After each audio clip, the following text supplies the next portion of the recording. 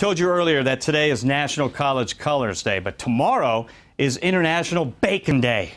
These two days back to back, absolute genius.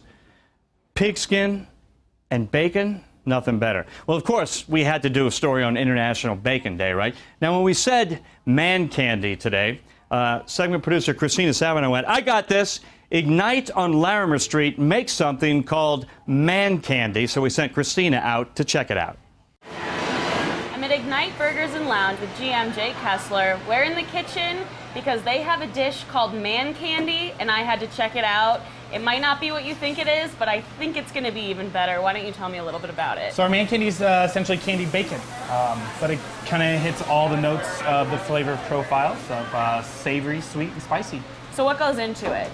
Well, the whole process takes about an hour, um, and then we start with um, sugar, molasses, crushed red pepper, kosher salt, black pepper. Why don't you show me where to start with all of this first? So what you really want to do is that we have your we do big batches of this because we go through so much man candy. So you want to take this big bowl Okay. and you just want to put these first three ingredients. The black pepper first. Go ahead and dump it in the sugar. no preference on what goes first? Nope. You just dump and go. Okay, this and then is you got fun. crushed red pepper right behind that.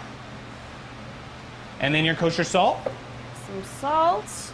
Get nice and mixed up in here. You can just dump the whole thing in there. Ooh, smell that pepper. Now we add the molasses. And that's kind of what binds it all together. So essentially we, we made spicy brown sugar. I'm making my own man candy. You just want to leave some air bubbles, so nice little spread across the bacon. Am I putting like too so. much on? No, this is fine. So what's next with this? This goes into a 350 degree oven for seven minutes. Okay.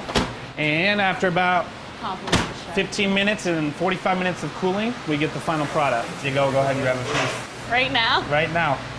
Okay. My man candy, everyone. Yummy. Christina's here. Madonna had her boy toys. You've got your man candy. How was it?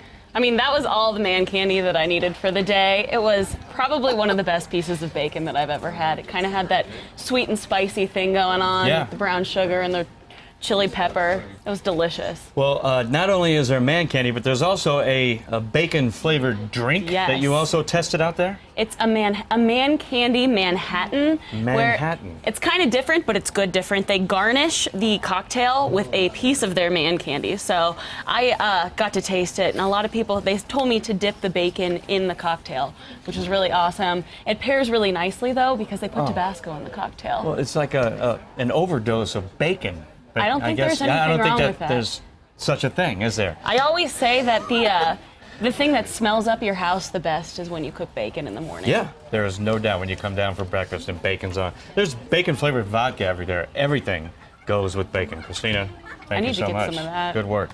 Still.